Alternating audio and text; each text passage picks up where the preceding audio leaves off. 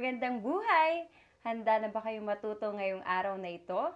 Pero bago ang lahat, tayo muna ay manalangin.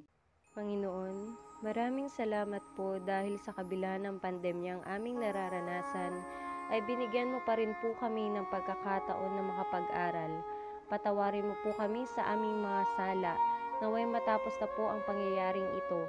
Ikaw na po ang bahala sa mga frontliner na walang sawang naglilingkod para sa bayan. Ikaw na po ang bahala sa aming lahat muli.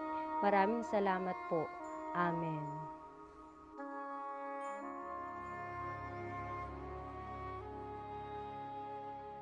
Para magpatuloy sa ating talakayan, heto muna ang isang maikling video. Si Jose ang batang magalang. Bukas ay araw na ng pasukan.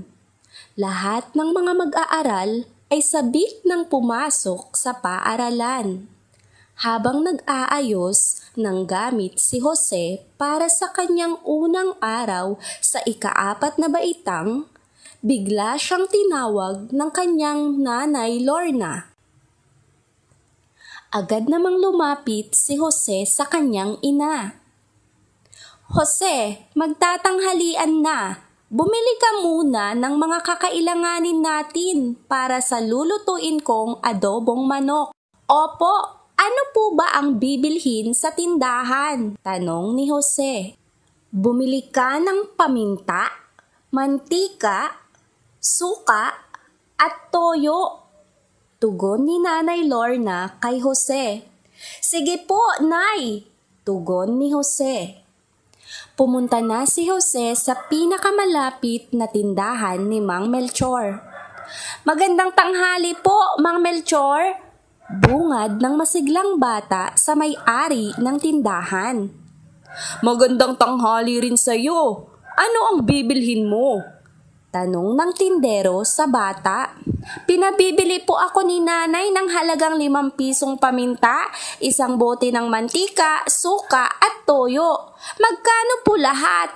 Tanong ni Jose. Limang piso ang paminta, 20 pesos ang mantika, 10 piso ang suka, at 15 pesos naman ang toyo.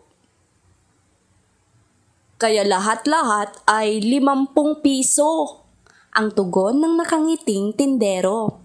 Salamat po, Mang Melchor! Walang anuman, Jose. Sa kanyang pag-alis ng tindahan, nakasalubong naman niya si Aling Helen na kanilang kapitbahay. Magandang araw po, Aling Helen.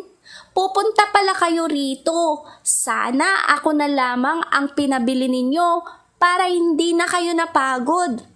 Naku, oo nga eh. May kulang pala ako sa aking lulutuing pananghalian. O di ba? May pasok ka na bukas?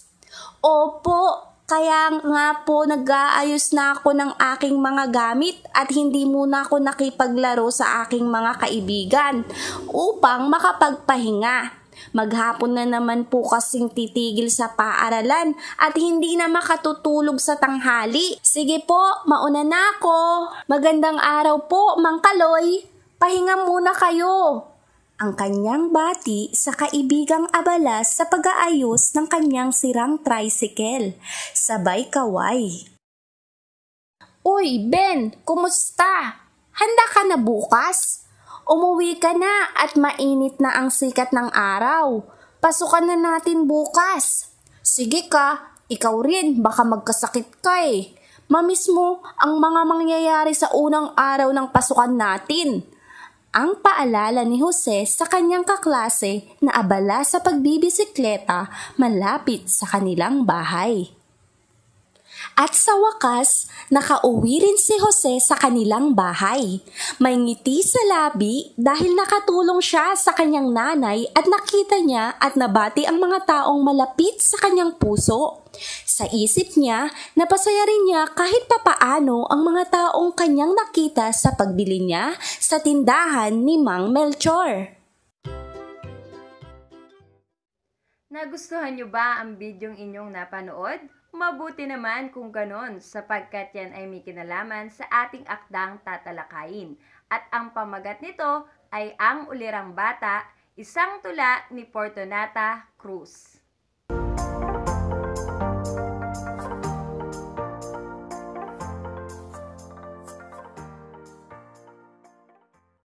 Pero bago yon, tanggalin muna natin ang mga salitang maaring makasagabal sa inyong pagkatuto.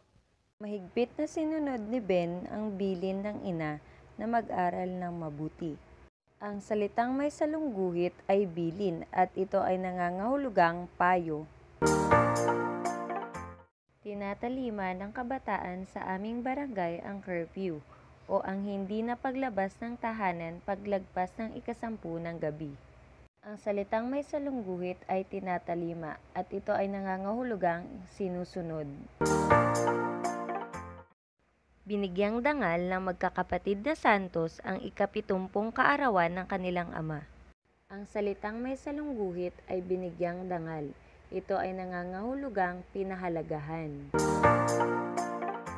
Ngayong natanggalan natin ng masalitang maaring makasagabal sa inyong pagkatuto, maaari nating simulan ang ating talakayan.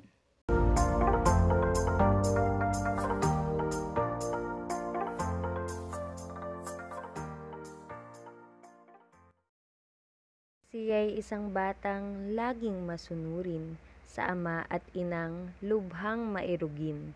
Sa lahat ng oras ang kanyang dalangin sa poong may kapal siya'y pagpalain. Sa araw at gabi ang bilin ng inay tila isang batas na tinatalima. Kahit saang dako ang hangad tuwina ay mabigyang dangal ang irog na ama. Lahat ng mabuti ay tinutularan, ang gawang masama ay iniiwasan. Datapwat ang ugaling wasto at dalisay, sa bawat sandali ay laging patnubay.